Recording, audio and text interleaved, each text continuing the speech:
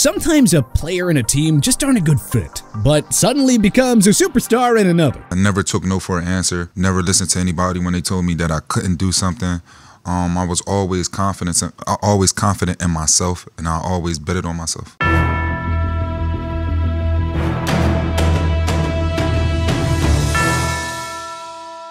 One man's trash is another man's treasure. So with that said, let's dive into 10 active NFL players who became stars on a new team after serving as a bench warmer with their old team. And hey, a big shout out to Quertos for suggesting this video. Haason Reddick. The Arizona Cardinals drafted the Temple linebacker with the number 13 selection in 2017. For the first three years of his career, it looked like Reddick was bound to be a bust. I mean, he only started 20 games over his first three years, playing just 42% of the team's defensive snaps in his rookie season. Finally, however, Reddick began putting it together in 2020 when he recorded career highs in sacks with 12.5 and in forced fumbles with 6. Reddick signed a one-year prove-it deal with the Carolina Panthers in 2011 and had 11 sacks and 2 forced fumbles. But Reddick truly hit superstar mode after signing a three-year deal with the Philadelphia Eagles in 2022 free agency. Reddick tallied 16 sacks, tied with Myles Garrett for second most behind only Nick Bosa, and 5 forced fumbles, which tied Alex Highsmith for the league lead. Reddick propelled the Eagles to a Super Bowl 57 appearance where they narrowly fell to the Kansas City Chiefs due to a very controversial defensive holding call on James Bradberry. Otherwise, Reddick and the Eagles could have been celebrating championship glory by now. Regardless, Reddick is an inspirational story and a reminder that it's not how you start, but rather how you finish. Jimmy Garoppolo the New England Patriots 2014 second round pick spent three and a half years as Tom Brady's backup in Foxborough, winning Super Bowl rings in the 2014 and 2016 seasons. But with Brady continuously defying father time, the Patriots decided to deal Garoppolo in his contract year to the San Francisco 49ers ahead of the 2017 trade deadline. Needless to say, the trade worked out pretty well for both clubs. Jimmy G won all five of his starts in 2017 and cemented himself as the 49ers' long-term starter. He suffered a season-ending ACL tear in Week 3 of the 2018 season, but rebounded with a career year, helping the 49ers to 13 wins and a Super Bowl 54 appearance where they narrowly fell to the Kansas City Chiefs. Unfortunately, injuries once again hit Garoppolo and limited him to six games in 2020. The next year, he won 9 of 15 starts and helped the 49ers to an unexpected NFC title game appearance, where they fell to the Los Angeles Rams. When 49ers starting QB Trey Lance went down for the year with an ankle injury in Week 2 of the 2022 campaign, Garoppolo returned to starting duties and went 7-3 before suffering a season-ending foot injury. Garoppolo did his job while on the field, and Brock Purdy finished the season as the 49ers starter. So, over 57 games games as a 49er, Jimmy G completed 67.6% of pass attempts for 82 yards and 42 touchdowns. He went 38-17-0 as the starter. And did we mention the two NFC title game appearances? You can call it the Kyle Shanahan system all you want, but Garoppolo made himself at home nicely on the West Coast. Darren Waller, the Baltimore Ravens selected Waller in the 6th round, 204th overall in the 2015 NFL Draft. But Waller barely saw the field over his three years in Baltimore. Of course, it didn't really help that he was suspended for the entire 2017 season for violating the NFL's substance abuse policy. But in 18 games for the Ravens, Waller recorded just 12 catches for 103 yards and a pair of touchdowns. He was cut in 2018 and later picked up by the Oakland Raiders. And finally, it all started to come together for Waller in 2019. He broke out with 90 catches for 1,145 yards and 3 touchdowns. A year later, Waller enjoyed a career year in which he logged 107 receptions for 1,196 yards and 9 touchdowns. Injuries limited Waller to 20 games over the next two years, and he was traded to the New York Giants in the 2023 offseason. Regardless of how he fares there, Waller is still a fun little underdog story. From bench warmer in Baltimore to becoming a top 5 tight end in the game with the Raiders.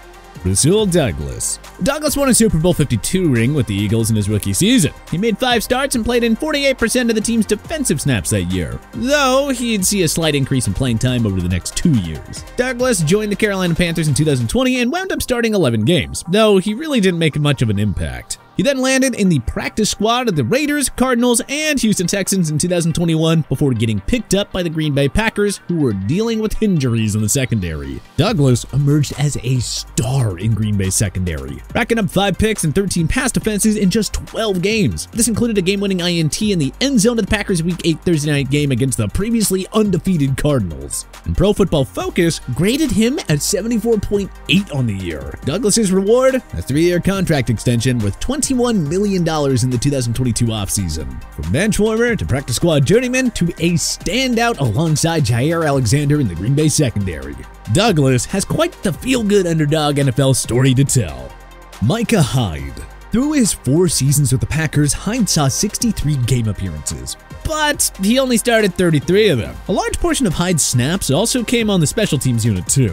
But when Buffalo Bills signed Hyde as a free agent in 2017, everything began to change for the better. He racked up 5 interceptions and 13 pass defenses, helping the Bills to their first playoff appearance since 1999. Hyde earned his first career Pro Bowl selection as well as a second-team All-Pro nod. He's been one of football's premier safeties ever since, helping transform the Bills into an AFC heavyweight alongside fellow defensive back stalwarts Jordan Poyer and Tre'Davious White. Who'd have thought back in 2017 that leaving a model Packers organization for the Bills of all teams would suddenly lead to a positive career change for Hyde.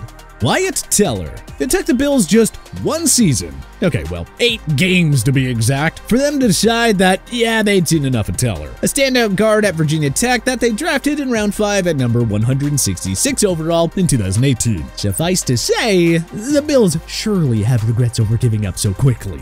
Shortly before the 2019 season, the Bills traded Teller in a 2021 7th rounder to the Cleveland Browns in exchange for 2025th and 6th round picks. It looked like a minor transaction at the time, but it actually turned out to be a massive win for a Cleveland team that really doesn't get a lot of them. Teller has been a rock on Cleveland's O-line, earning Pro Bowl nods in 2021 and 2022, as well as second-team All-Pro honors in 2020 and 2021. In 2020, Teller played a monumental role in helping Cleveland A, end a 18-year playoff drought, and B, win their first postseason game since 1994.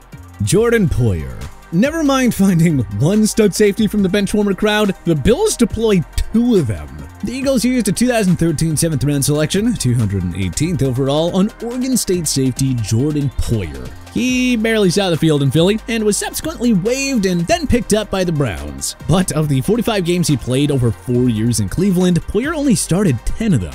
He simply didn't make an impact in Cleveland, so it was a little bit surprising when the Bills gave Poyer a multi-year deal in 2017 free agency. Hindsight is 2020, but uh, yeah, now we see why the Bills didn't. Like Hyde, Poyer emerged as a star in Buffalo in 2017, recording 5 interceptions and 13 pass defenses. And like Hyde, the 2021 First Team All-Pro and 2020 Pro Bowler has been one of football's elite safeties since coming to Buffalo. Quandre Diggs. Diggs spent his first four and a half years with the Detroit Lions, and he was mostly used as a rotational piece at cornerback and safety. In all, Diggs suited up for 65 games as a Lion and started 40 of them. Ahead of the 2019 trade deadline, the Lions sent Diggs and a 2021 7th rounder to the Seattle Seahawks for the low price of a 2020 5th round pick.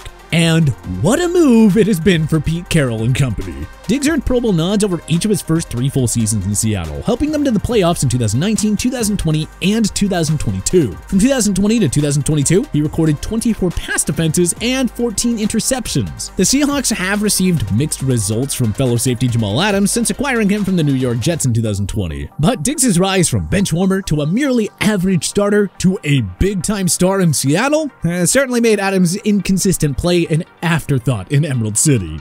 Trey Hendrickson.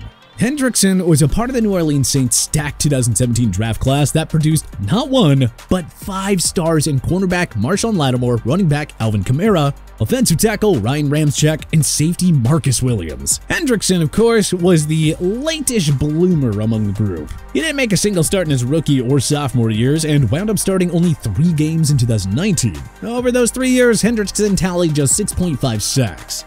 But Hendrickson broke out in his contract year in 2020, recording a career-high 13.5 sacks. Believing it was no fluke, the Cincinnati Bengals handed Hendrickson a four-year deal worth $16 million in free agency. Hendrickson indeed proved that it was no fluke, tallying a new career year with 14 sacks and 3 forced fumbles. Hendrickson helped the Bengals to a stunning Super Bowl 56 appearance where they narrowly fell to the Los Angeles Rams. Hendrickson continued to start him for the Bengals in 2022, earning a second straight Pro Bowl nod after recording 8 sacks, 3 pass defenses, and as many forced fumbles. Shaq Barrett The local Colorado State product joined the Denver Broncos as an undrafted free agent in 2014, but he didn't see a single snap in his rookie year. Over the next four years, Barrett saw 61 game appearances, but he was only a starter for 15 of them, and he played less than 50% of the team's defensive snaps in three of his four years with the Broncos. The Tampa Bay Buccaneers signed the Super Bowl 50 champion in 2019 free agency, and little did the NFL world know what was coming next. All Barrett did that year was lead the NFL in sacks with 19.5, plus 6 forced fumbles and an interception. Barrett recorded 8 sacks in 2020 and helped the Bucs to a Super Bowl 55 championship, harassing Patrick Mahomes all night long in the big game. Barrett earned his second Pro Bowl nod in 2021 after recording 10 sacks, 4 pass defenses, and 3 forced fumbles. Well, I suppose life is like a free agent signing in football. You never know what you're gonna get.